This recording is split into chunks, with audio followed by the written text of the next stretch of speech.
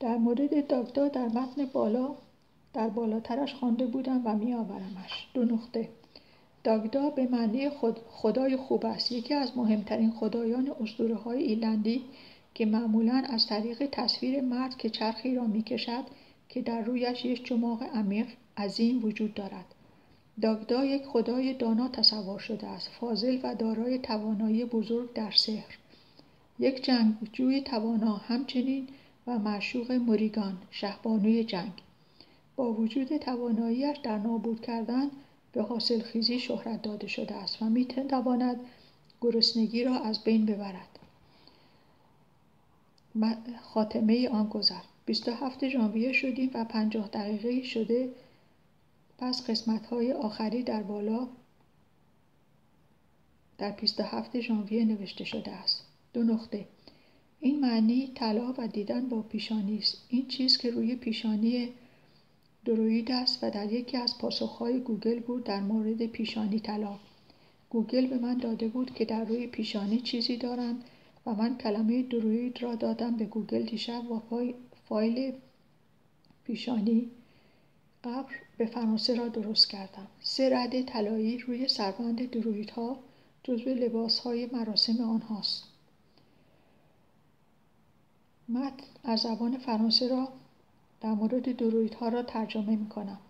لباس رسمی درویدها. این لباس یک تونیک بلند یک سرپوش نیم دایره و یک نوار سر ساده یا دارای سه خط تیره زرد یا طلایی و یک تزئین در روی سینه گلدوزی شده با صلیب درویدها. ختم گذر از همان متن زنان در عرفان ابن عربی. دو نقطه. برخی از صوفیه بر این عقیده که وحدت وجود یک اصل است و نه یک فلسفه. جواد نوربخش درباره اصل بودن وحدت وجود می‌گوید صوفیه عالم حسری را جدا از وجود حق نمی‌دانند. در تفسیر الله نور سماوات و الارض صوفیه اظهار میدارند که خداوند وجود آسمان ها و زمین و حقیقت آنهاست. بر این اساس دانش و بینشی را که بر این اصل استوار است که دو نقطه. در همه کائنات جز یک وجود مطلق هیچ نیست و هرچی هست موجود به وجود اویند. وحدت وجود گفتهاند اما ما این مطلب را فلسفه نمی‌دانیم زیرا فلسفه چیزی است که بافته عقل باشد و قابل تغییر. در حالی که این بینش بافته دل است و لایزال و زوال ناپذیر. بینش وحدت وجود با عشق و کشف و شهود ارتباط دارد.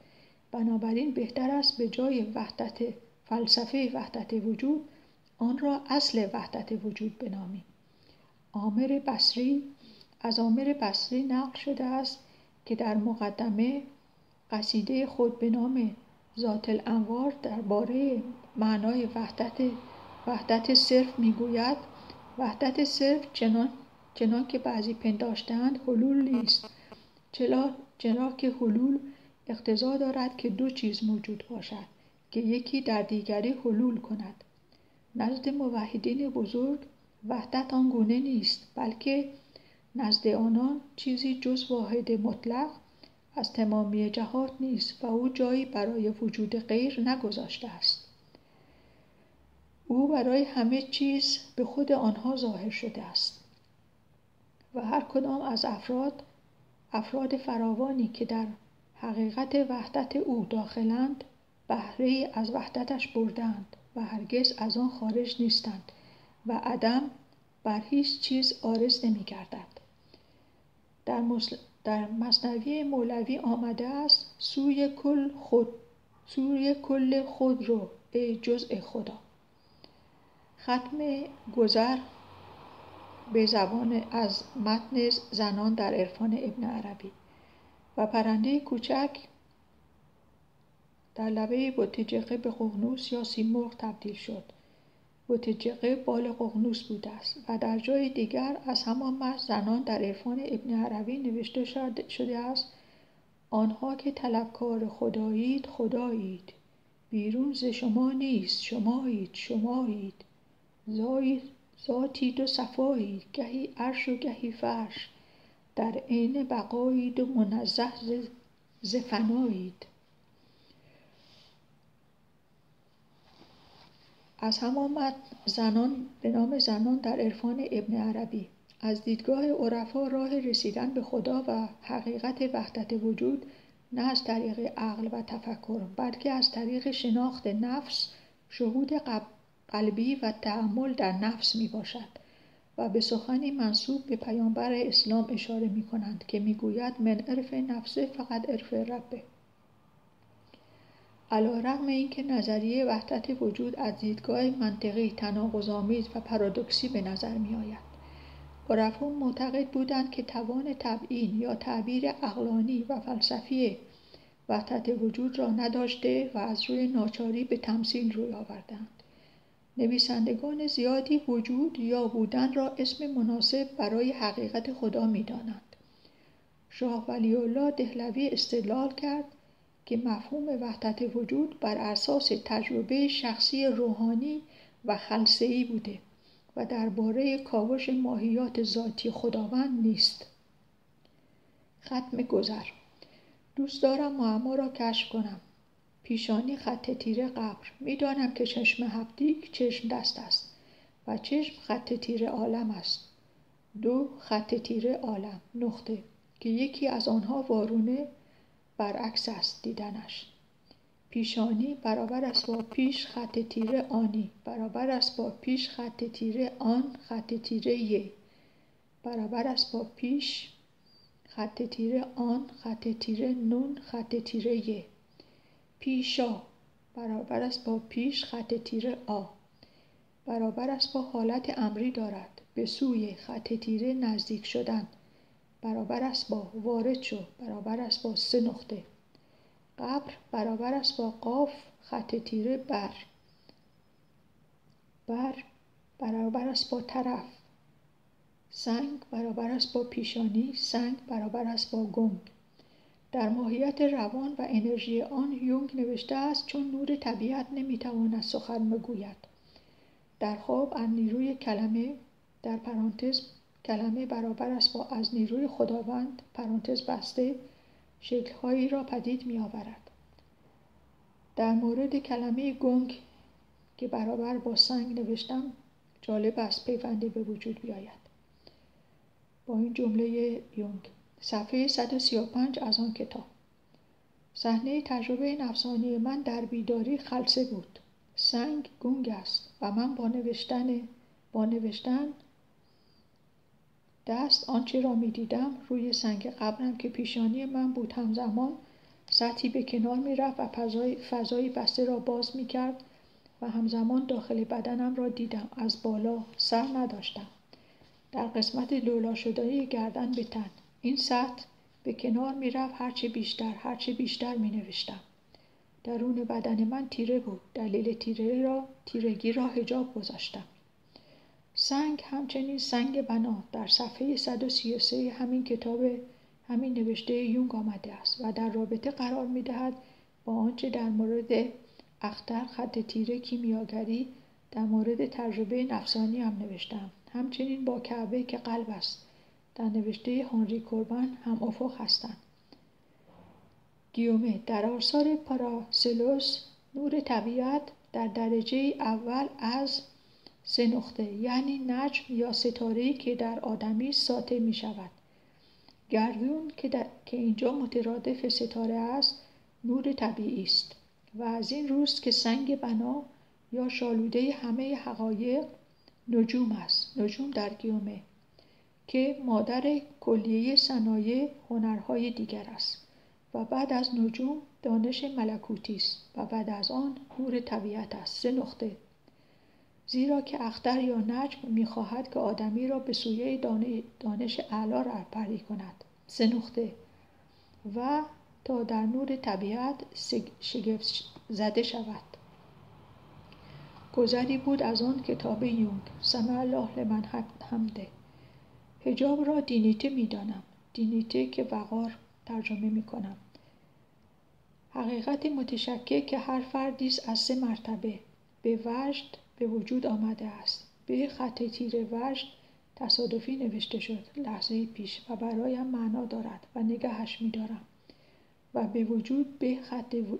تیر وجود را بعدش نوشت بعدش که می‌خواست نوشتم. که می‌خواستم از آن از همان اول بنویسمش. هجاب برابر است با دینیته برابر است با وقار برابر است با کعبه برابر است با قلب. همان که استاد یهودی که در دفاعی پایان نامه سال چهار من حضور داشت دخول به کعبه مرا تر برنامه ریزی کرده بود و به اجرا نهاد. کعبه در گیومه. موضوع دکترای من بود. می توانم به فارسی آن را زمان شنوا معنا کنم که در وجود هر فرد بایستی دست نرسیدنی باشد برای دیگری و هر فرد بایستی آن را بنا کند. مادری که مرا به دنیا آورد در حجاب من دخول می کرد و نمیگذاشت حجابم را حفظ کنم و آن را به بنا مبدل کنم. تبعید را انتخاب کردم. در نوشته کربن از زمان تولد ثانوی ساختن از زمان تولد ثانوی ساختن بنا شروع می شود و فرد در زمان مرگ همسن طول زمانی است که طول بنا ساختن این بناست. بنای متشخص او کعبه. منتها و تجربه نفسانی من زمان را پیش از آن بعد, بعد از آن مبدل ساخت. پیش همزمان پیش در جمله بالا را خواندم در حال نوشتن این جمله.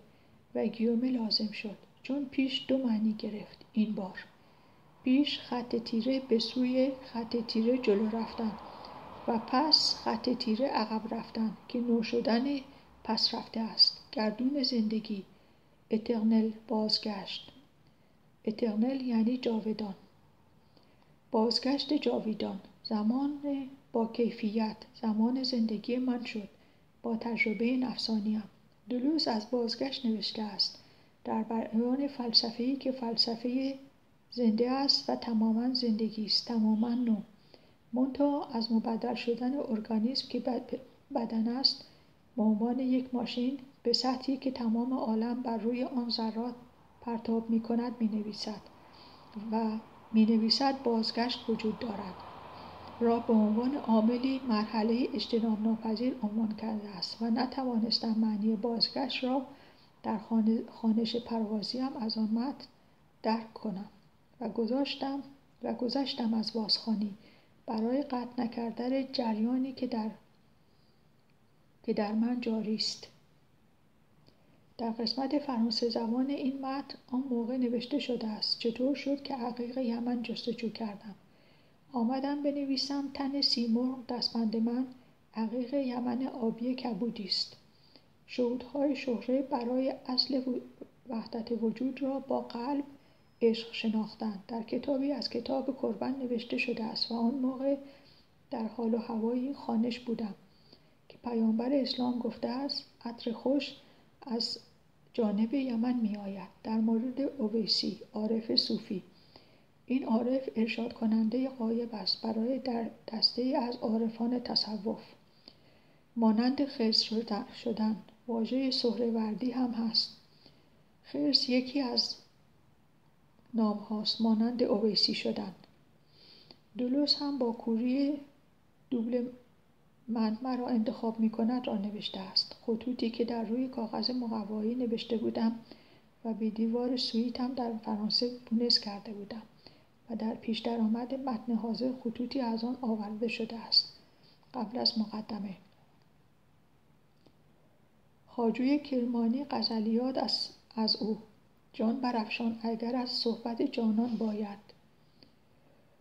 خون دل نوش اگرت آرزوی جان, جان باید. برو و مملکت کفر مسخر گردان. گر تو را تختگه عالم ایمان باید.